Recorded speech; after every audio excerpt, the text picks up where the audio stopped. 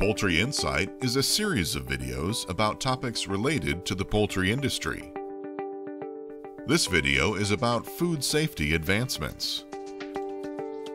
How is food safety implemented in the poultry industry?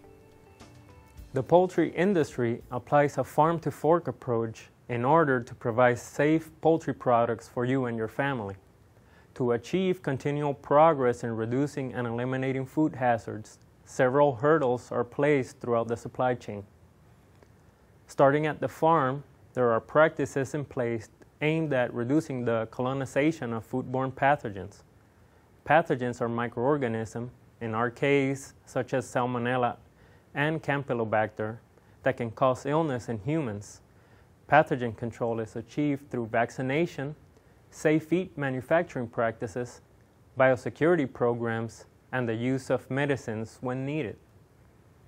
When birds reach the processing plant, the farm to fork approach continues through several processes where the poultry is cleaned and sanitized before packaging.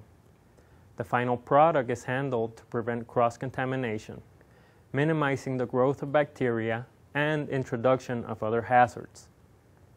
These applications are scientifically evaluated to ensure that the control is adequate.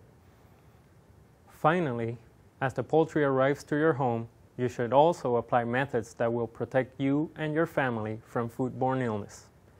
By keeping the poultry properly stored, preparing poultry separate from other foods, and cooking the poultry to a temperature of 165 degrees, you do your part in completing the process of farm to fork food safety.